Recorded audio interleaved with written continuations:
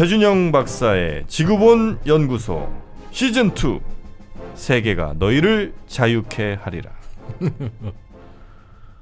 3개월 만에 돌아온 최준영 박사의 지구본 연구소 시즌 2 반갑습니다. 정프로입니다. 네, 이프로입니다. 김프로입니다. 네. 아, 저희가 드디어 석 달 만에 우리 최준영 박사를 모셔왔습니다. 음. 크게 한번 박수 치고 모시도록 하겠습니다. 아. 반갑습니다. 최준영 박사님. 안녕하세요 조준영입니다. 예. 아유, 얼마만입니까? 반갑습니다. 예. 아, 예? 좋아. 아 좋잖아요. 신영 박사님 지구본 연구소 우리 신과 함께해서 그러니까 막 경제 푹 빠지신 분들도 부담 없이 음. 음. 참 재밌게 주말마다 얼마나 아껴 들었던 건데 석 달 동안 못 들으니까 너무 답답하더라고요. 예.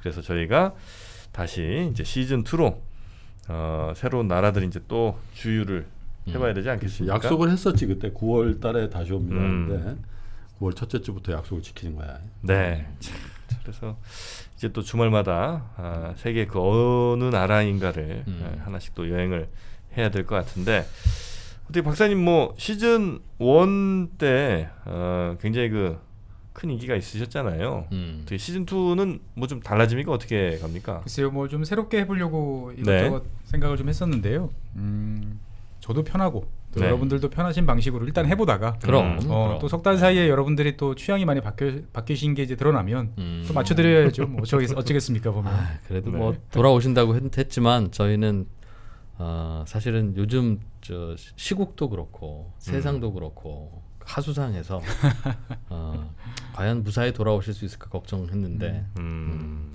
모르잖아요. 또 언제 또, 또 청와대에서 호출이 있어서 아이, 또 어, 무슨 뭐? 민정수석으로 와달라거나 아또 무리수 든다. 그 정말 안 하는 거죠 거기는. 어, 그럴 수 지구, 있잖아요. 지구본 연구소도 음. 되게 그 생각지도 못한 곳에 몇 군데 불려갔었어요. 어디요? 아, 어뭐 일단은. 아, 국정원은 아니었고요. 어, 첫 번째는 이제 공군사관학교에 한번 불려갔었어요. 음. 음. 거기 교수님께서 생도들에게 한번 음, 음, 이 넓은 좀 시각을 어. 알려달라. 강의 제목이 뭐예요? 그럼 그러니까 이제 뭐 국제관계와 대한민국 뭐 이런 식이었는데 어. 예 전체적으로 이제 생도들 그러니까 사실 음. 생도들이라고 하면 지금 이제 4학년생 4학년이니까 지금 네. 이제 군대 아직 안 간 4학년들이죠. 네. 예. 제가 어렸을 때 태능에 스케이트 타러 가보면 거기 육사 생도들은 까마득하게 커 보이고 어, 음. 멋있어 보이는 야. 형들이었는데 야, 저 형들이 나라를 지키니까 든든해 이런 음, 생각했는데 그렇죠. 예, 아, 이제는- 보면 귀여워. 아 근데 앞에 이제 물론 뭐한 서른 명 정도를 음. 두고 이제 앞에서 이제 이야기를 하는데 앞에 딱 쓰니까 느낌이 되게 묘하더라고요. 어. 그러니까 이제 뭐냐면 아 이제 저 친구들이 우리를 음. 지켜주는 친구들이구나. 음. 음, 든든하기도 하고 음. 음. 또 한편으로 보면 저 친구들이 마음 편히 음, 본인 본인의 일에 어, 집중하고 원하는 대로 할 수 있도록 잘 해줘야 되는데 과연 우리가 잘 해주는 잘 해주고 있나? 음. 음. 음, 그러니까 생각보다 너무나 젊은 친구들이 어떻게 보면은 어, 우리가 모르는 사이에 우리의 일상을 지키기 위해서 배우고 익히고 아. 예, 음. 준비를 하고 있는 모습들이 되게 울컥하더라고요 보면. 음. 공군 사관학교요? 네, 아, 제가 또 에어포스 503기입니다. 그러셨군요. 네. 공사 생도 그 공사도 이제 과가 있어요. 네, 예. 전투 비행과가 있고 뭐 그러잖아요. 비행과가 있고 뭐 조종사가 되는 코스가 그러니까 뭐 있고. 문과 이과 여러 가지 이제 있더라고. 그 전공들이 이제 있더라고요. 아, 공사 나오도 비행기 조종 안 할 수도 있어요. 안 할 수도 있지. 안 할 수도 정비 있죠. 관제 뭐 이런 게 있죠. 어. 뭐 이를테면 방공으로 가면 이제 미사일이나 이런 쪽 이제 다룰 수도 있고요. 음. 예. 근데 공사 출신 소위가 모는 차를 내가 한번 얻어 탄 적이 있거든. 네. 내가 육군 소위 때 네. 죽는 줄 알았잖아. 죽는 줄. 왜요? 얘네 속도 감각이 없어. 아. 진짜로. 이륙해? 야 그때 프라이드 베타였는데 오래간만에 내가 뒷좌석에 걔 서울 간다고 해서 내가 그 얻어 타고 가다가 손잡이 이렇게 꽉 잡고 고개 숙이고 얘네는 왜냐면 편대 비행을 마하로 하는데 그 간격을 유지한단 말이야. 아. 아. 그러니까 이 프라이드 베타로 뭐뭐 어디 영동인가 뭐 여하튼 고속도로를 타고 오는데 음. 아 진짜 그 다시는 내가 그래서 그 친구들이 뭐, 뭐는 그 잘안 타. 소, 소위 소위면 이제 초급 중등 네? 아니, 그러니까. 중등인데 뭐 네? 보면 음. 한참 겁 없을 나이지. 어, 그래서 공군사관학교 한번 갔었고 난데없이 또 외교부에서 한번 와달라고 그래서 어. 외교 둘다 정책에 필요한. 곳이네요. 음, 공군, 외교- 공군도 일단 하늘을 날아다니니까 세계지리 잘 알아야지. 뭐 세계지리도 세계지리지만 어떤 이제 안보라는 게 이제 그 음. 우리나라 혼자 되는 게 아니다 보니까 음. 예 사실은 이제 그 교수님께서는 좀 넓은 시각 네. 어, 이제 다른 나라 군인들은 뭐 좀 국토 방위가 중요하긴 하지만 또 음. 여러 가지 측면에서 다양하게 활동하는 모습들을 많이 보셨던 것 같더라고요. 음. 그래서 그런 기회를 좀 주, 주시고 싶었던 것 같고 가서 무슨 얘기 하셨어요? 뭐 공군사관학교 공군사관학교 학생들한테는 이제 세계가 변하고 있다. 어, 세계가 지금 이제 뭐 저희 지구본 연구소 들어보셨던 분들은 잘 아시겠지만 음. 과거에 이제 만들었던 질서들이 지금 많이 이제 변하고 있고 급속히 음. 바뀌고 있고 어, 이런 상황 속에서 이제 어떻게 이제 봐야 될 것인가 이것들을. 음. 음, 그다음에 이제 그러면 그러한 사실들을 접하고 익히는 사람들의 태도는 과연 어떻게 될 것인가. 음. 약간 약간 꼰대 같은 강의를 하고 오셨네요. 음, 뭐 그렇게 볼 수도 있죠. 예. 외교부에서는 뭘 하셨어요? 음. 어, 외교부에서는 이제 너무 아프리카, 주간이라는 게 있었어요. 예. 아프리카, 아프리카 위크. 예, 음. 아프리카에 대한 이제 이해도를 높, 높이고 어, 뭐 이런 목적으로 사실은 이제 우리나라 외교부가 전체 국- 국가 예산에서 차지하는 비중도 작고 음. 예. 그런데 그 중에서도 아프리카 쪽은 더더욱이나 이제 작죠. 상당히 작은 포션을 차지하고 있다 보니까 어떻게 보면 이제 부내에서라도 좀 음. 인지도와 여러 가지 이런 것들을 좀 높이고 싶은 생각들을 음. 당연히 이제 많이 하셨을 텐데 네. 저희가 시즌 1에서 했던 뭐 루안다 루안다, 이야기라, 콩고. 아프리카 뭐 한 바퀴 돌았죠, 뭐. 예. 근데 그 음. 이야기가 외교부 분들이 들으셨을 때도 꽤 재밌었던 모양이에요. 아. 음. 공군사관학교 교수님도 듣고 외교부 외교관들도 듣고 지금 예. 그래서 이제 뭐 아프리카 담당하시는 분들에게 다른 과 직원들이 오셔가지고 음. 야 너희들 재밌는 거 하더라. 음. 예. 그래서 음, 외교부 청사 1층에서 또 네. 여러- 여러분들 뭐 기자분들도 많이 오신다 그래가지고 어허. 모셔놓고 또 음. 아프리카 이야기를 어떻게 보면 참 뭐 번데기 앞에서 주름 잡는 이야기죠. 음, 그 현장을 맨날 뛰시는 분들 앞에서 무슨 이야기를 해야 될까 음. 그게 고민을 하다가 이제 중국과 아프리카라는 음. 주제로 이제 이야기를 했었습니다. 참 지구본 연구소 덕택에 아이고. 네. 네. 좀 쉬고 오시라고 그랬더니 또 많이, 그 많이 쉬었는데 그런 다니고 쉬면은 안 쉬면은 안 되는 팔자 같더라고요 제가. 자, 그럼 이제 저희가 전에 한번 어, 어디에서 시작했습니까? 파키스탄 파키스탄에 시작해서 아프리카 갔다가 유럽 갔다가 이제 어, 중남미까지 한 바퀴 지구를 뺑 돌았는데 네. 이번에 또 어떻게 지구를 돌아야 되나? 글쎄 어느 나라를 시작할까 되게 고민이 많이 됐어요. 네. 그래서 어디를 고민하, 막 어디를 가볼까 고민을 하다가 이제 주말에 아, 일이 있어가지고 이제 아버님을 이제 뵀는데 저희 아버님은 이제 몇 년 전에 후두암 수술을 하셔가지고 이제- 후두? 예 어휴. 후두 전절제를 하셨어요. 그래서 이제 음. 여기 이렇게 목에 이렇게 성대를 다 드러내셨기 때문에 그러면 말씀하시기 말씀을 못. 말씀 못 하시죠. 음, 예, 아. 말씀을 못 하세요. 그러니까 이제 대화는 이제 카톡이나 필담. 예 필담이나 뭐 이런 쪽으로 이제 이렇게 하는데 네. 아버지가 이제 43년생이신데 음, 이렇게 얼굴을 보다 보니까 갑자기 옛날 생각이 막 많이 나는 거예요. 이제 보면 음. 77세시네. 그렇죠. 네. 예, 좀 있으면 이제 여든이신데 아, 왜 아버지가 예전에 어, 어떠셨지? 음, 근데 생각을 해보면은 기억이 잘 없어요. 음. 젊어 제가 어렸을 때는 오히려 제가 초 중학교 들어오면서부터는 기억이 아버지에 대한 기억이 많은데 음. 그 전에는 기억이 잘 없는 거예요. 음. 왜 그런가 생각을 해보니까 어 이제 수많은 수출 여군이셨죠. 많은 나라들을 이제 음. 다니셨 다니셨고 어 뭐 우리가 잘 아는 나라도 있지만 잘 모르는 나라들도 많이 다녀오셨는데 음. 참뭐 이제 여든을 바라보시는 나이에 저희 아버지가 이 방송을 들으실지 모르겠으나 왠지 음. 음, 음. 아버지가 다 옛날에 다니셨던 아. 그 나라들 중에서 몇 개를 잡아서 이야. 어, 좀 한번 이야기를 해보면 어떨까 하는 이번 생각이 좀 들었습니다. 부제는 최준영 박사의 사부가로 하자. 아, 그러네. 아버지의 이름으로로 가겠습니다. 사부고. 네. 아버지의 발걸음 따라. 예, 저희 아버지는 이제 의류 수출업을 하셨어요. 네. 예전에는 뭐다 의류였죠. 대한민국이 90년대까지 의류 산업이 제일 발달한 음. 나라였으니까 음. 그러다 보니까 이제 뭐 해외 이제 직접 티셔츠나 뭐 와이셔츠 이런 거 팔러도 이제 많이 다니셨고 음. 그 다음에 해외 공장 건설을 위해서 또 많이 다니셨어요. 음. 그러니까 의외로 우리나라가 해외 진출을 해서 그쪽에 서 생산하고 하는 역사들이 상당히 길다라는 거를 제가 아버지를 뵈면서 새삼 다시 느꼈던 거죠. 우리가 보통 2000년 뭐 90년대부터 대한민국이 뭐 해외로 나갔다 이렇게 음, 생각을 하는데 음, 사실은 음. 그전 한 10년, 한 15년 전부터 이미 부지런한 업체들은 어, 해외로 나가서 공장을 만들고 음. 거기서 실패와 또 성공과 이런 걸 거듭하면서 노하우를 이제 쌓아오고 있었던 거죠. 네. 어떻게 보면 좀 잊혀진 이야기인데 오늘은 뭐 그래서 그런 이야기를 어떻게 보면 좀 사심인가요? 음. 아니요, 아니요. 자, 그런데 어, 부친께서 가셨던 곳에 먼저 예, 뭐 많이들 다니셨는데 네. 생각을 해보면 제가 제일 기억에 나는 곳이 두 곳이 있는데 그 음. 중에 오늘은 한 곳, 음, 방글라데시를 한번 가보겠습니다. 아 방글라데시. 방글라데시. 예, 방글라데시. 방글라데시 하면 어떤 생각이 드세요? 방글라데시하고 굉장히 못 산다. 굉장히 못 산다. 인구 인구- 밀도 인구 많아. 엄청나다. 인구 엄청나다. 그렇죠. 저는 실제로 한번 가봤거든요. 아 가보셨군요. 가봤어요. 다, 비, 마, 비 많이? 다카에. 예, 예. 비도 음. 비도 많이 오고. 비 많이 오고. 생각보다 어렵더라. 예.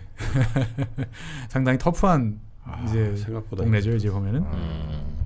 왜냐면 저희 아버지가 80년대에 그, 그 지역에 공장 건립 때문에 가셨어요. 치타공인가요, 여러분? 예, 예, 그렇습니다. 치타공이 뭐예요? 치타공이 그 영원무역이라고 영원? 영원무역. 그 모자 만드는? 등산복 네. 뭐 음. 어. 네. 옛날에 거기서 노스페이스를 OEM으로 하지 않았어요? 예, 예, 맞아요. 음. 근데 치타공은 그러니까 우리로 따지면 부산 같은 동네예요. 음. 항구 도시. 아, 그다음에 아, 다카는 도시 이름이 다카는 이제 서울이고. 그 서울이고 네, 음. 안쪽에 있는 뭐 그런 지역입니다. 그래서 음. 저도 어릴 때 보면 방글라데시 그러면 되게 못 살고 네. 음. 어, 힘들고 음. 이런 지역이었고 방글라데시 저희 아버지와 같이 일하시던 분이 한 번 한국에 오셨었어요. 한- 방글라데시 사람이 예 음. 합작법인에 이제 실무 담당하시던 분이셨는데 아마 지금 생각으로 보면 한 10월 중순쯤 됐던 것 같아요. 아 바람이 좀 쌀쌀해지네. 뭐 이런 느낌이었는데 음. 입을 수 있는 모든 옷은 다 입고 있고 예 뭐 음, 추우셔서 네, 너무나 추워서. 그래서 아, 방글라데시는 되게 따뜻한 더운 나라구나라는 걸 어. 그때 알았어요. 사실 방글라데시는 인구도 많죠. 예. 음. 방글라데시 인구가 얼마나 될 것 같습니까 보면? 인구 밀도가 굉장히 높다고 들었어요. 하여튼 좁은 예. 1강 1억 5천 덩어리에 되나요? 그렇죠. 1억 5천대요? 인구가 1억 7천이에요. 아 1억 7천 그새 늘었네. 예, 뭐 계속 늘고 때한 1억 있으니까 5천이었는데. 세계 8위입니다. 아, 인- 야. 인구로만 예, 보면 인구 인구로만 보면 세계 8위예요. 음. 그래서 이게 이 인구가 이제 계속 늘어나면 2046년에는 한 2억 정도 된다. 뭐 이런 이야기도 있는데 음. 뭐 출산율은 그래도 많이 낮아졌어요. 제가 어릴 때는 막 여섯 명씩 애를 낳는 6점 몇 명이다 이렇게 배웠는데 음. 요즘에는 2.1명 정도로 낮아졌더라고요. 우리나라 학교 출산율이 0점대네. 예. 자관 이 인구 밀도 아까 말씀하셨는데 어, 인구 밀도는 이제 제곱 킬로미터당 몇 명이냐 이렇게 예. 되잖아요. 근데 방글라데시 면적은 생각보다 안 넓어요. 음. 우리나라가 이제 10만 제곱 킬로미터라고 제가 여러 번 말씀드렸는데 음. 남한이요. 예 남한 네. 방글라데시는 15만 정도 돼요. 음. 그러니까 우리나라 한 배 반, 대한민국의 한배 반 정도 되는 한반도보단 작은 거네요. 그렇죠. 한반도보다 작죠. 거거든요. 뭐 예, 예. 항해도 정도를 포함한 북한이 남한에다가 북한이 12만 제곱킬로미터 정도 되니까 평양성 이남이네. 그렇죠. 뭐 음. 평양 원산선 정도에 조금 네. 더 더하면 되는 정도 그 사이즈인데 거기에 1억 7천만 명이 사니까 진짜 많이 싸네. 예 인구 밀도가 이제 그 따블 따블이 넘네 우리. 1200 1274명이에요. 1274명. 아마 근데 세 분은 그 인구 밀도의 감각이? 그 감각을 못 느끼실 거야. 예. 진짜 진짜로 저는 느껴봤는데 다카 공항에서 딱 차를 타고 시내를 들어간 거예요. 신호등도 없고. 잠실 야구 경기장 끝났을 때 그 분위기 있지. 아. 야구 경기가 프로야구 끝났어. 그리고 잠실에서 쫙 나올 때 그 잠실 야구장 앞에 분위기 딱 그거야. 어. 정확한 깜짝 놀라 무슨 이 집회 있습니까? 그랬더니 항상 이래요. 아, 그래요? 진짜로 진짜 진짜라니까. 그래서 인구 밀도가 이제 그 높은 도시들이 있죠. 뭐 싱가포르라든지 홍콩이라든지. 음. 어, 아, 근데 이제 비교 돼. 근데 이제 이런 도시들을 빼고 음. 그냥 이제 좀 국가다운 땅덩어리가 그래도 좀 음. 있는 사이즈로 보면 단연 1등이고요. 2위가 대만. 그다음에 음. 사실은 우리분은 잘 몰라서 그렇지 대한민국도 한 3, 4위 정도 됩니다 보면. 인구 밀도가요? 예. wow. 그래서 방글라데시 인구 밀도가 어마어마하게 많다. 지금 이제 그 김프로님께서 말씀해 주셨는데 높다 그러는데 음. 그냥 숫자로만 보면 우리나라 경기도 정도 음. 사이즈예요. 물- 물론 이제 그 다카 같은 이제 대도시는 훨씬 높겠죠. 음. 근데 아까 제가 이제 1270명 정도라고 그랬는데 음. 서울이 몇 명일 것 같으세요? 서울의 인구 밀도 예. 가로 세로 1km 안에 예. 모르겠어요. 16,000명 정도 돼요. 인구 밀도가 서울이. 어. 서울도 의외로 많구나. 서울이 이제 OECD 국가 중에서 당연, 당연히 이제 top이에요. 다들 아, 집에, 그래요? 집에 예. 계셔서 잘 안 보이는구나. 그러니까 저희가 익숙해지니까 익숙하니까 이 서울의 인구 밀도라는 게 뭐 지하철 음. 9호선이나 이제 탔을 때 이제 그 느끼는 거지 음. 이제 익숙한 거지. 상하이, 베이징 이런 데보다 서울이 더 높다는 거예요. 예, 예, 높습니다. 아, 보면은. 그래요? 예, 인구 밀도가 상당히 높아요, 보면은. 아, 그러니까 집값이 안 잡히지. 어쨌거나 그래서 이 방글라데시는 사람 많고 네. 어, 인구 밀도 높은 이제 이런 곳입니다. 근데 음. 아까 이제 못 산다고 그러셨는데 사실 못 살아요. 많이 못 살아요. GDP가 이제 한 1,600달러 음. 정도니까 이제 극빈 소, 소득이 낮은 거죠. 그렇죠. 그래서 우리는 그러니까 1인당 GDP가 낮은 거죠. 이제 음, 보면은. 잘 사는 거 못 사는 거하고 소득이 낮은 거 높은 거하고는 이제 좀 구별을 좀 하면 좋겠다는 어, 생각이 소득도. 낮고 예. 잘못 살기도 하고. 아니 제 말은 예. 소득은 낮 지만 잘 살 수 있잖아요. 사- 잘 살고 못 사는 게 No. 돈이 있고 없고의 아, 문제가 아니라 그래도 그- 극한의 빈곤 상태를 그래도- 자기가 뭐안 가봐서 네, 그렇다니까. 기본은 이제 해야 되지 아, 않을까 아. 싶은데요. 빈곤은 곧 못 사는 거를 느끼게 될 거야. 그 다카를 한번 가보시면 그래도 월드카파 특히. 그래도요. 그 나중에 어. 이제 말씀드리려고 했는데 음. 최근에 방글라데시가 네. 이 세계에서 가장 빠르게 성장하고 있는 나라 중에 하나입니다. 보면은. 어. 아니, 성장률로야 뭐그 정도 그 정도 그 정도 못 사는 나라. 그래서 그 보통 이제 우리가 유엔 같은 경우 이제 최빈국이라고 그러죠. 네. 예. 거기서 탈 거기서 졸업했어요 작년에. 아 그래요? 예. 그리고 그 세계은행에서도 이제 저소득 국가랑 음. 저중소득 국가라고 이렇게 나눠요 레벨을. 음, 그 반- 사이에서 또 층을 나누는구나. 예, 제일 하위층에서 있다가 방글라데시가 2017년 18년에 다 탈출을 했어요 거기서. 어. 예. 최근, 최근에 그럼 경제 성장 그렇죠. 이제는 이제 최빈국에서 개도국으로 음. 이제 올라가는 이제 그 단계를 이제 오, 밟고 있어요. 그거 저 예전에 우리 저 아버지 세대 형 큰 형님 세대에서 중동에서 벌어온 오일 달러로 그랬듯이 우리나라에서 벌어간 코리아 달 코리아 달러로 한 거 아니에요? 뭐 방글라데시도 방글라데시도 이제 외국에서 상당히 엄청나게 많이 예, 예, 많이. 들어오니까요. 음. 뭐 그런 거 저런 거 다 합해서 네. 이제 최근 들어서 음. 그래도 그 우리가 잘 신경 인식 못 하고 있는 사이에 음. 빠르게 음. 성장을 하고 있는 어떻게 음. 보면은 지옥 같은 나라이기도 하지만 음. 또그 와중에 또 희망과 또 미래를 또 바라보고 있는 나라기도 하다라는 말씀을 먼저 드리고 싶고요. 음. 어떤 면에서 보면 우리나라랑 좀 비슷한 면도 있어요. 이제 비슷하다는 게 뭐냐면 기분 나빠하실 분도 있겠지만 일단 단일 민족이에요. 아. 예, 벵갈족이에요. 음. 그러니까 지난번에 우리 저희가 이제 뭐 파키스탄이나 다른 나라 이야기하면 아, 항상 섞여 있는데. 종족 간 뭐 분쟁 이런 게 있잖아요. 보면은 여기는 그런 게 없어요. 아, 벵갈족이라 방글라데시군요. 예, 예. 그러니까 벵가 아. 벵갈이라는 나라, 벵갈에 있는 나라라는 뜻이죠. 방글라데시가 음, 네네네. 자체가. 음. 그래가지고 벵갈족이 전체의 98%예요. 음. 벵갈족은 그 나라에만 살아요? 주로 이제 이 방글라데시하고 그 인접 지역이 조금 이제 음, 인도나 인도. 다른 지역, 음. 예, 다른 지역이 좀 있는 거죠. 음. 그러니까 뭐 민족 갈등은 없어요. 일단은 기본적으로. 그러네. 예. 음. 그리고 전체의 한 90% 이상이 또 이슬람교. 이슬람이. 이슬람. 예, 이슬람교인데 또 순위파인데 어, 중동에서 더 동쪽으로 갈수록 보통 보면 좀 순해지는 경향이 있잖아요. 보면은 네. 인도네시아나 말레이시아 뭐다 음. 이슬람 국가지만 우리가 잘 음. 인식 못 하잖아요. 보면은 그렇지. 예, 그런 것처럼 여기도 뭐 그렇게 아직까지는 종교적 분쟁 뭐 물론 이제 순위파가 이제 다수긴 하지만 시아파에 대한 뭐 차별도 별로 없고 어떻게 보면 뭐 이런 면에서 봤을 때는 그냥 뭐 나름대로 다 힘드니까 너도 힘들고 나도 힘들고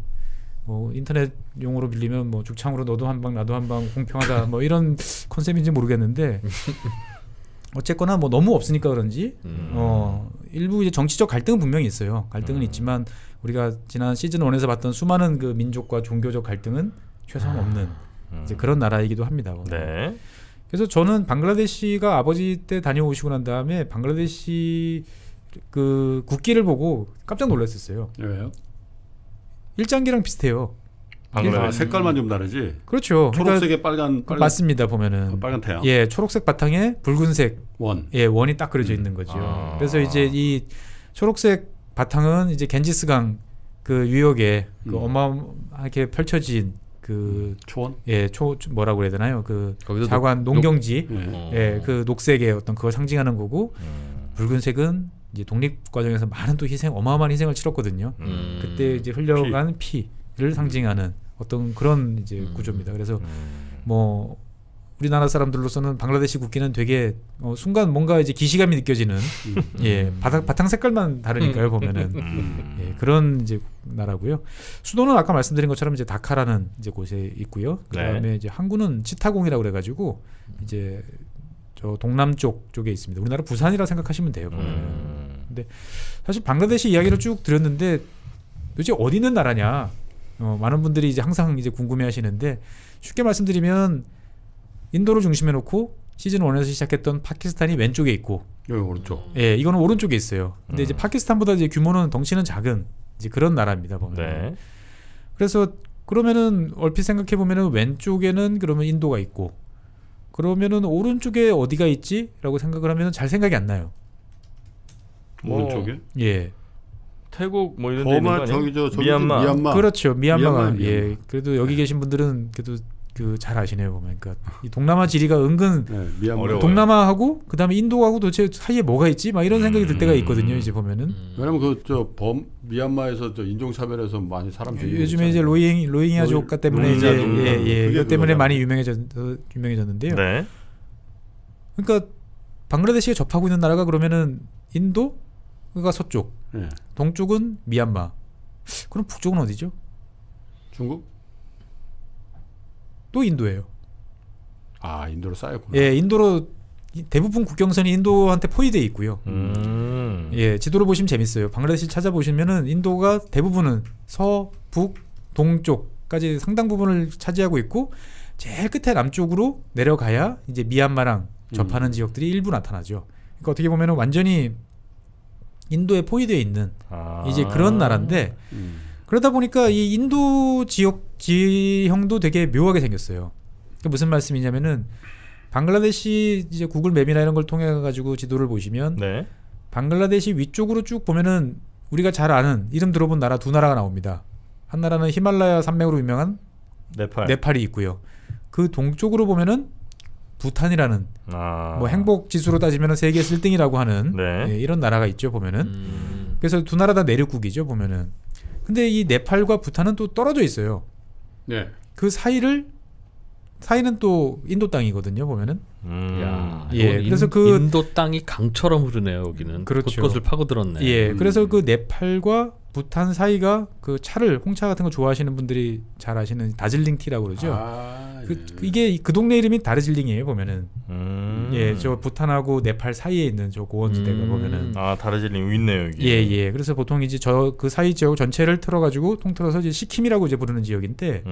음. 잘 보면은 방글라데시가 위로 툭 튀어나와 있고 부탄, 네팔이 사이에 껴 있다 보니까 그 인도 지역은 되게 좁아요. 그러네요. 음. 정말 물돌목처럼. 예, 아주 좁아지고 그리고 거기를 지나면은 다시 방글라데시 동쪽으로 음. 어 되게 넓은 그 인도 땅들이 또 있죠. 그래요. 음. 예, 그러니까 우리는 보통 우리가 생각하는 인도 땅보다 더 오른쪽에 혹처럼 붙어 있는. 예, 이, 이 방글라데시로 동쪽으로는 인도가 끝났다 이렇게 생각했는데 예. 상당히 있네요. 상당히 있습니다 보면은 일곱 개 주가 이제 이쪽에 있는데요. 이 어떻게 지역은 국경이 이렇게 됐지? 그러니까 방글라데시가 만약 인도 땅이라 생각하면 자연스럽게 보일 겁니다. 아. 그러네요. 방글라데시가 똑 떨어져 아. 나왔기 때문에 이제 저 모양이 된 거죠 이제 아, 보면 인도 땅이 파고든 게 아니라 방글라데시가 인도 안에서 뭔가를 파그 하나인 거죠 이제 인도 입장에서 보면 암세포처럼 퍼졌네요. 그렇죠 떨어져 나간 셈이다 보니까 음. 저렇게 됐는데 아까 그래서 제일 좁은 지역이 이제 실리구리라는 지역인 데 실리구리 회랑이라고 부르는 지역인데요. 네. 저 지역이 폭이 한 20km에서 25km밖에 안 돼요. 음. 아. 그러니까 누군가 어느 세력이 딱 나타나서 20km만 정복하면. 네팔이 뭐 20km만 남으로 동남쪽으로 내려가든지 음. 아니면은 방글라데시랑 네팔이 짝짝꿍이 돼서 서로 10km씩만 음. 나눠 먹고 나면 인도는 딱 끊기네. 딱 끊기는 거죠. 근데 뭐 사실 네팔이랑 방글라데시가 게임이 그, 안 그렇게 되지. 그럴 능력이 있는 나라는 아닌데 음. 그 위에 보면 커다란 땅덩어리가 하나 있죠. 중국이요. 네. 음. 그러니까 중국하고 부탄 아 네팔하고 부탄 그 위쪽에 있는 중국이 그 사이에 아까 말한 시킴 지역이라 시킴 지역을 통해 가지고 이제 인도랑 접하고 있는 거예요. 또 들어와 있네 또. 음. 그렇죠. 중국이. 그러니까 저기서 이, 그 중국군이 만약 밀고 내려와 가지고 저 25km만 딱 음. 목을 차단해 버리면은 그 인도의 땅이. 동쪽 그 넓은 지역들은 완전히 떨어져 나가는 거죠 보면은. 음. 분단국이 돼버려. 그렇죠 분단국이 되는 거죠 월경지처럼 이제 그렇게 돼야 되는 이제 숙명이다 보니까 사실은 저 방글라데시가 어떻게 보면 되게 묘한 지역을 이제 깔고 앉아 있는 음. 이제 그런 동네다라고 생각하시면 되겠습니다. 네. 그래서 방글라데시는 원래 인도 그러니까 그 옛날 영국령이었죠 보면은 영국이 음. 인도부터 뭐 네팔, 부탄, 방글라데시 오른쪽으로는 미얀마 이 지역까지가 다 영국 땅이었죠 보면은. 음. 근데 이 지역들이 이제 갈라지다 보니까 저런 식의 이제 국경선이 형성됐다. 이제 이렇게 생각을 하시면 되겠고요. 네. 그래서 그 방글라데시 하면은 이제 홍수 피해가 되게 많다. 어, 강이 많네요 보니까. 예, 이 뭐 어마어마하게 큰 겐지스 강이 흘러내려오다 보니까 음. 구글 맵을 보실 때 이제 그냥 일반 지도로 보시, 보시다가 한번 위성 사진으로 이제 바꿔서 보시면 느낌이 또 완전히 달라집니다.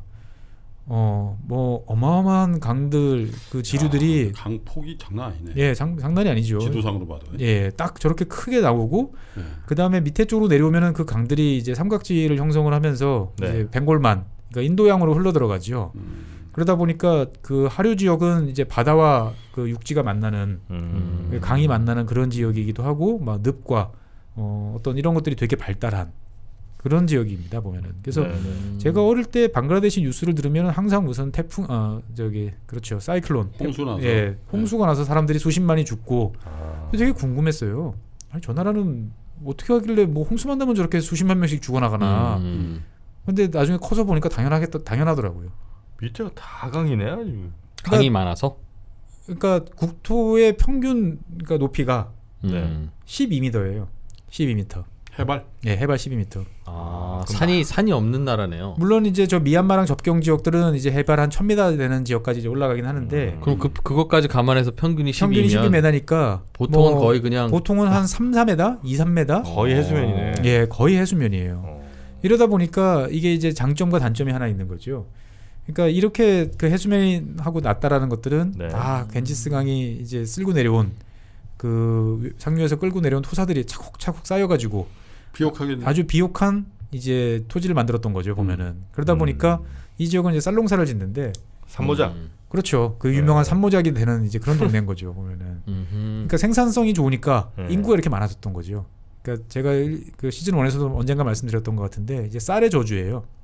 음, 쌀 농사가 잘 되니까. 단위, 단위 면적에서 이제 가장 많은 사람을 먹여 살릴 수 있는 게 옥수수가 신대륙에서 전해지기 전까지는 음. 이 쌀이었거든요. 보면은 밀, 아. 밀보다 한 두 배 이상을 이제 먹여 살리니까. 네. 음. 근데 한 번 쌀을 이제 손을 내기 시작을 하면 인구가 많아졌으니까 음. 못 끊어. 못 끊는 거예요. 어, 우리 좀 다른 거 먹어보자. 어, 귀리가 몸에 좋대더라. 아, 시끄러. 아. 일단 쌀이 해야지. 맛 일- 안안 그러면 다 굶어 죽. 죽는 상황이 돼버린 거죠. 이제 보면. 음. 그러다 보니까 한 번 많아진 인구들을 먹여 살리려면 또 쌀밖에 없으니까 음, 죽으나 사나 쌀에 쌀. 이제 매몰돼야 되는 어떤 그런 지역인 거죠. 보면. 쌀 농사하긴 진짜 좋겠네요. 예, 그렇습니다. 뭐물 보면. 많지 그러니까 뭐. 그렇, 그렇죠. 그러니까 어떻게 보면은 이렇게 낮, 낮은 지역이다 보니까 네. 그 다큐멘터리나 이런 거 많이 보신 분들은 아시겠지만 느낌이 꼭 그 옛날 그 케빈 코스트너 나오던 영화 워터월드 뭐 워터월드. 아. 예, 아. 그런 물 그냥 물 위에 그냥 간신히 떠 있는 사람 사람하고 물하고 막 그냥 섞여 가지고 그 케빈 어, 뭐 모르겠어. 허우적대는 이제 그런 나라 느낌이 어. 드는 거죠, 이제 보면은. 야, 수도에도 보니까 뭐 강, 뭐 호수 이런 게 그냥 예. 그래서 여기는 교통이 네. 이제 뭐 항공도 있고 철도도 있고 다 있지만 또 그만큼 주력 교통 중에 하나가 이제 수운이에요. 내륙 수운. 어. 예. 그 예, 제가 예전에 뭐 책과 함께 시절에 이제 미국 이야기하면서 내륙 수운이 엄청 그렇죠. 발달했다 이러던데 사실 방글라데시도 엄청 발달한 음. 나라입니다. 그래서 배가 다닐 수 있는 항로 길이가 뭐 한 8,000km 정도 된다. 그런 나라가 발전하는데. 그러니까 인, 이, 이- 영국이 처음에 여기 왔을 때는 이 지역이 엄청나게 발달한 발달하고 물산이 풍부한 아, 이제 그래요? 그런 나라였던 거죠. 이제 보면 먹을 게 많은 나라가 옛날에 무조건 발달했었으니까. 음. 예. 근데 이제 너무 사람이 많아진 거죠. 어떻게 보면은. 아, 예. 사람이 너무 많은 게 사람이 너무 문제군요. 많아지면서 문제가 됐고 이것들이 요즘에 이제 방글라데시가 또 사람들 사이에 입에 자꾸 오르내리는 게 이제 기후 변화에 제일 취약한 나라 꼽아 보면 항상 1등 뭐 다섯 손가락 안에 들어가요 보면은. 아, 해수면 높아지면 예. 그래서 해수면이 한 1m 정도 높아지면은 전체 국토의 한 10%가 침수돼 버리는.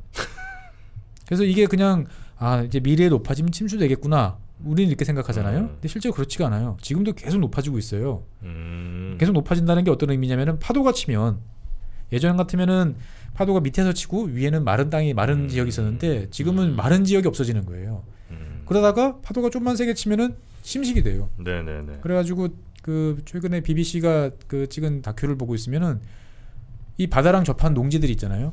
그냥 멀쩡히 내 눈앞에서 없어져. 계속 쓸려가고 있어요. 어. 그래서 자다 일어나 보면 내 농토가 절반이 줄었어요. 음. 내 집이. 쓸려 내려가가지고 저 옆 동네 사람이 죽었어요.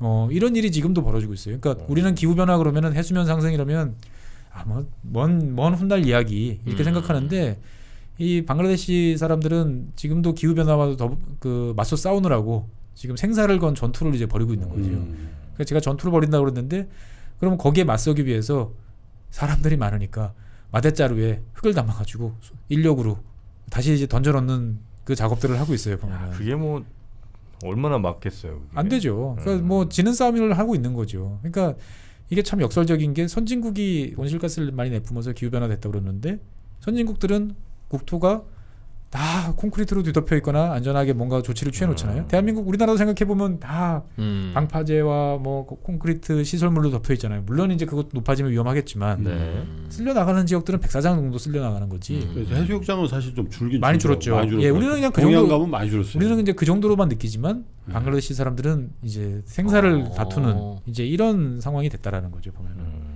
이제 아까 이제 변홍사 이야기도 했지만 비도 많이 오고요. 1년에 네. 한뭐 2,800mm?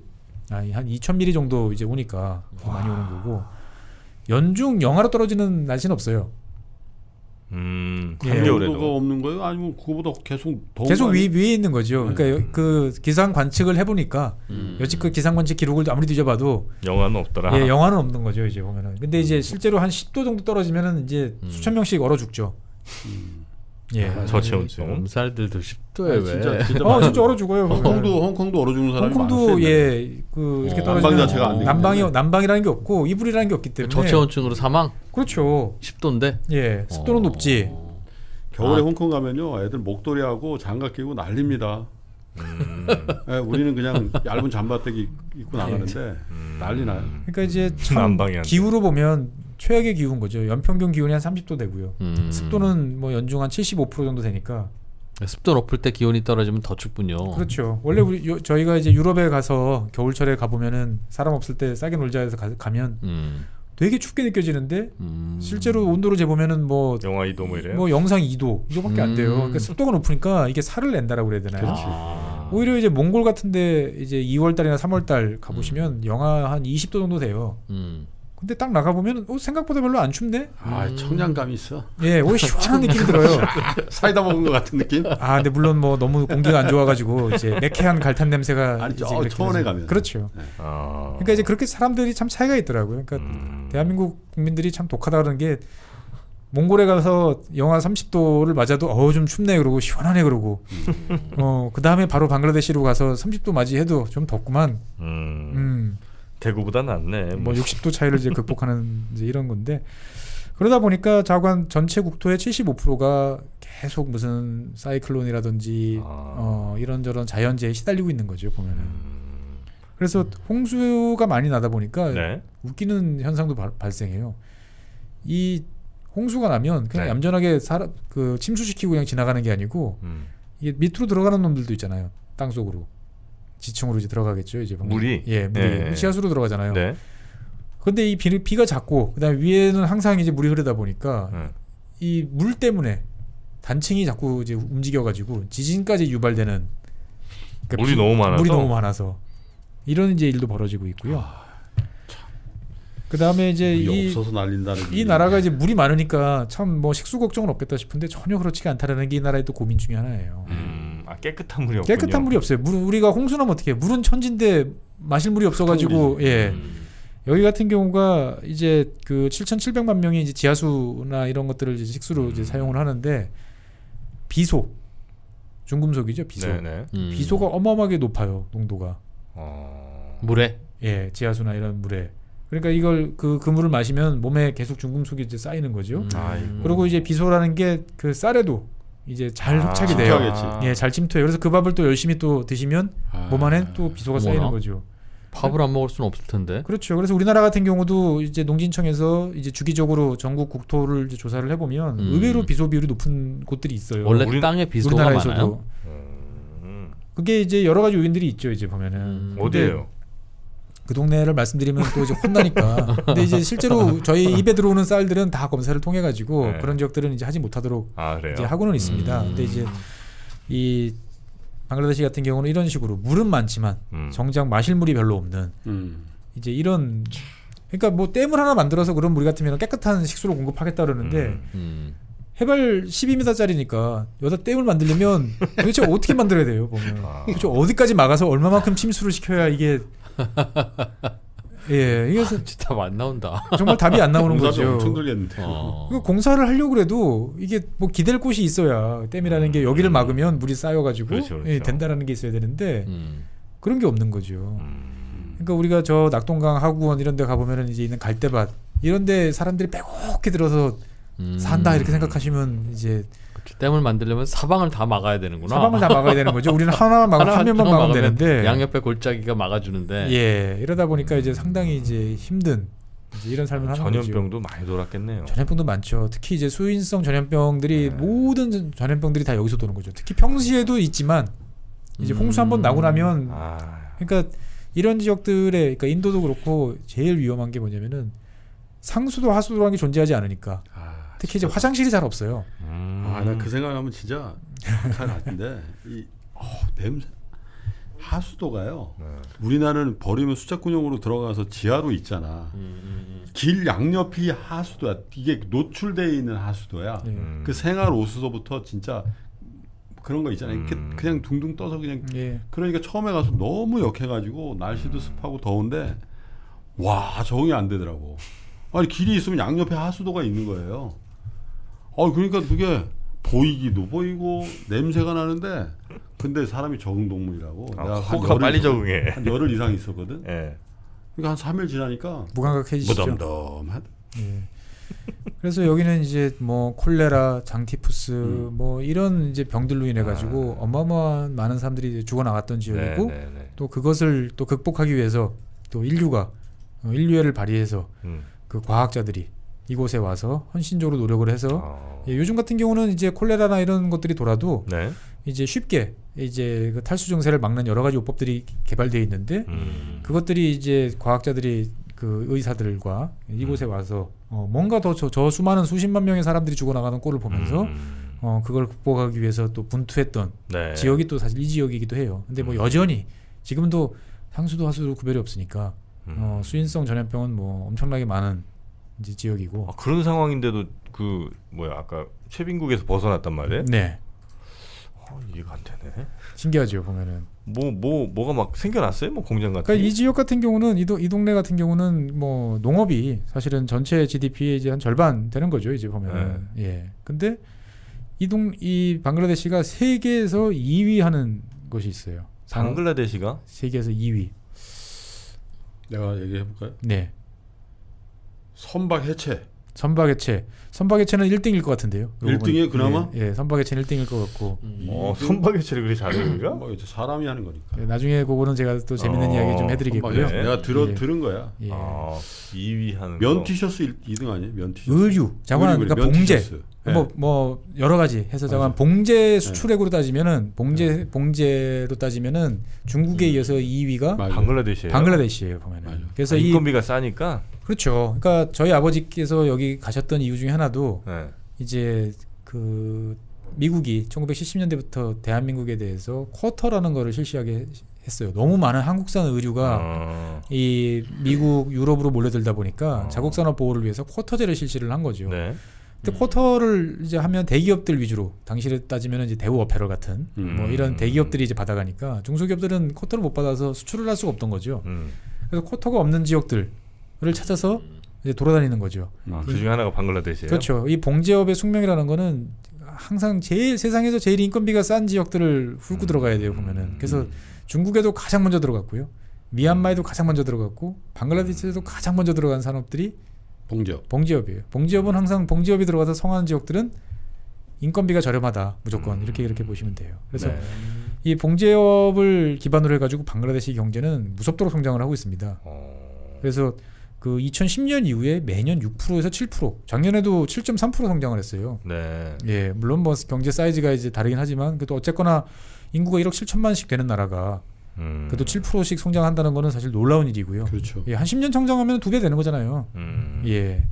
그래서 1인당 GDP는 아직까지는 이제 뭐 바닥 수준이지만 그래도 음. 벌써부터 아까 말씀드린 것처럼 이제 극빈국에서 이제 벗어나는 네. 이제 이런 모습들을 이제 보이고 있는 거죠. 음. 그러니까 이제 대개는 이런 나라들이 갑자기 잘 살게 되는 배, 배경에는 네, 자원이 많아서 그렇거나 아니면 뭔가 우리 우리나라처럼 예. 음, 정권이 잘 안 바뀌든가 갑자기 독재가 시작되든가 예. 어, 밖에서 보면 독재 안에서 보면 정치 안정 뭐 이런 예. 뭐이 나중에 역사 때 말씀드리겠지만 우여곡절이 참 많았어요. 우여곡절이 참 음. 많다가 이제 문민 정부라고 하는 민간인 정부들이 들어선 거는 이제 90년대 음, 이제 들어오면서부터였고요. 최근 들어서는 뭐 이제 한쪽 정당이 이제 좀 장기 집권을 하고는 있는데 문민 정부 들어선 건 우리나라랑 시기가 비슷하네요. 그렇죠. 어. 근데 이제 그 양당 간의 이제 다툼들이 되게 격렬하게 벌어져요. 음. 예, 그래서 이제 실제로 보면 폭동 사태도 많이 일어나고 있긴 하지만 어쨌거나 양당 체제가 그래도 음. 어, 선거를 통해서 이제 이거를 유지하려고 하는 이제 이런 모습이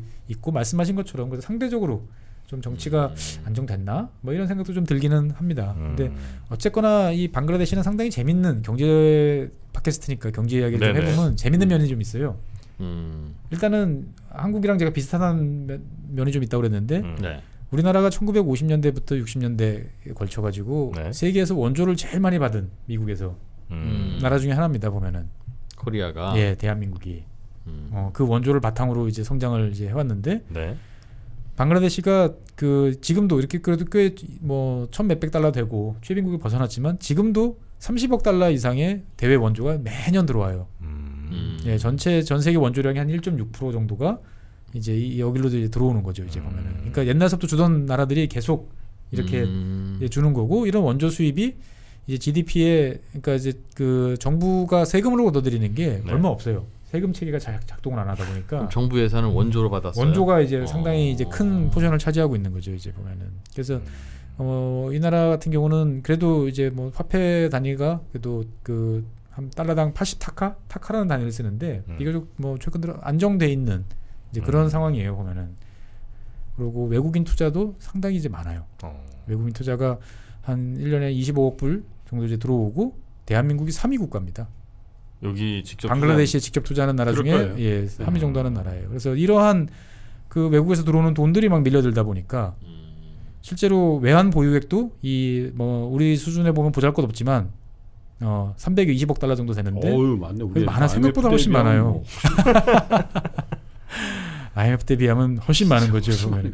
근데 이제 외채가 한 480억 정도 되니까요. 사실은 이제 그 음. 외환 보유액 가지고는 좀 뭐 하긴 하지만 우리 생각보다는 훨씬 음. 이제 많은 이제 그런 나라들이고요. 네. 경상수지도 2016년까지 계속 한 10년 동안 흑자를 봤어요. 그러니까 무역 예 흑자예요. 어. 그러니까 아니 뭐 수출을 많이 하겠죠 뭐. 아 사실은 수입도 많이 하기 때문에 무역 수지만 음. 보면은 적자예요. 상품 수지는 송금. 송금, 예, 맞아요. 송금. 아. 이 방글라데시가 원체 사람은 많고 음. 음. 나라는 못 살고 하다 보니까 송금, 송금. 외국으로 많이 나갑니다. 음. 그래서 이분, 근로자들이 예 우리나라에도 많이 와 계시죠 보면은 방글라데시에 이제 노동자분들이 이제 와 계시는 아, 분도 건설 있고 현장 같은 데도 많이. 건설 현장도 있고요. 그 다음에 중동 건설 현장을 방글라데시 사람들이 꽉 잡고 있습니다. 지금 예, 왜냐면 아. 뭐 같은 이슬람들이다 보니까 사실은 아, 우리. 오히려 보면은 네. 예, 물론 이제 거기서 극악의 환경에서 지내기는 하시지만 네. 어쨌거나 이제 거기서 있고 그 다음에 뭐 이제 유엔이나 어디 용병으로도 많이 가요. 어. 예, 그래서 지금 뭐 언제 기회 되면 말씀드릴 예멘 같은 경우에서 내전이 벌어지고 있는데 아 거기서 싸워요? 거기서도 이제 아랍에미레이트 거기서 용병으로 방글라데시 어. 사람들이 많이 가서 이제 있죠 이제 보면은 어. 그래서 이렇게 나가 있는 사람들이 뭐 남사뿐만 아니고 여성 여, 여성들도 그 인접한 나라 많은 나라들의 이제 가정부로 음. 이제 나가 있죠 이렇게 나가 있는 사람들이 250만 명이에요 아, 그래서 1억 250만 명이 1년에 보내는 송금액이 120억 달러예요 와 120억 달러. 예. 우리나라 옛날에 100억 불 수출 탑하고 막. 그렇죠 그러니까 나가서 몸으로 이제 떼워서 이제 벌어들이는 소득이 많은 나라가 방글라데시랑 음. 필리핀, 어. 필리핀. 네 그러니까 좀 아, 어려운 않- 그, 그게, 어려운 그게 용어로 이제 말씀드리면 주력이구나. 이제 이전 수지가 음. 상품 수지 적자를 떼우고 음. 이제 남는 거죠 그러면은. 음. 근데 이제 2016년부터는 이제 인프라 건설들을 한다고 이제 음. 여러 가지 이제 사업들을 많이 하면서 음. 이제 좀 적자로 이제 반전을 하긴 했지만 음. 그래도 생각보다는 그래도 꽤 외환 보고도 많고 음. 예 외국 사람들이 많이 투자하는 음. 이런 나라라는 거죠. 근데 참 보면 미스테리한 면이 있어요. 이 방글라데시가. 그러면 사업하기 좋겠네? 예전에 시즌 1에서 르완다 이야기할 때 원스톱 서비스도 해주고 막 그런다고 그러잖아요. 네. 음. 방글라데시는 그런 거랑은 정말 거리가 먼 나라예요. 저희 아버지 때부터 아주 그 치를 떠, 치를 떠셨거든요. 보면은.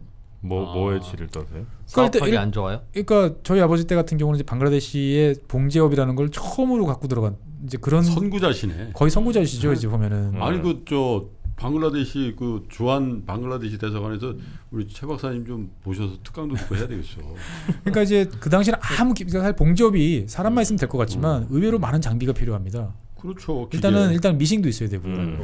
그다음에 실도 있어야 되고요. 음. 단추도 있어야 되고요. 음. 그러니까 각종 원부자재들이 은근히 많이 필요한데. 음. 이것들을 이제 그 배에서 내려야 되는데 음. 도대체 세관에서 통과가 안 되는 거예요 보면은 음. 어, 뇌물 없이는 아. 단 1cm도 이제 진행이 안 되는 그, 그 이야기를 제가 들었을 때가 이제 80년대였으니까 음. 지금부터 30년이 이제 훌쩍 지났는데 지금도 이제 그 국제기구가 조사해 놓은 거 보면 숫자가 참 재밌어요.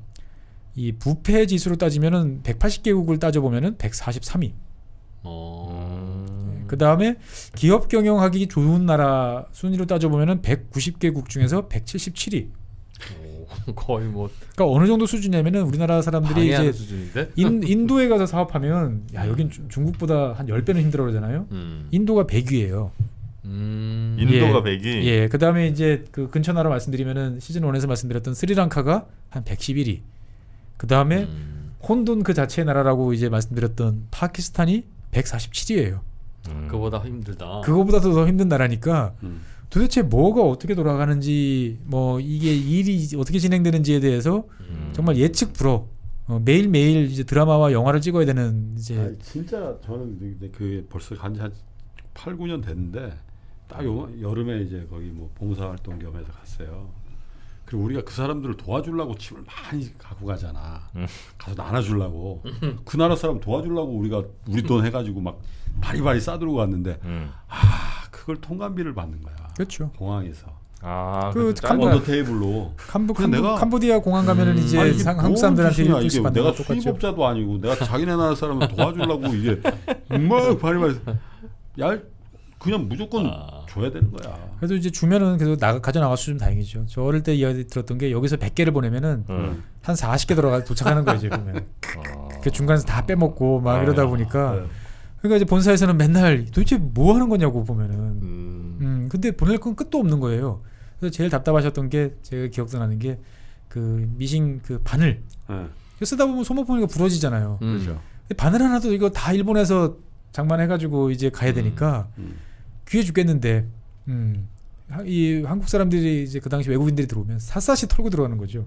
음. 음. 어, 이거 바늘은 작으니까 옷에다가 이제 갖고 가, 가져갈 수 있잖아요. 음. 미싱 없으면 써먹을 데도 없는 것 같은데 그것마저도 이제 다 털어가는 압수. 음. 예, 압수 압수인 거죠 이제 보면은. 음.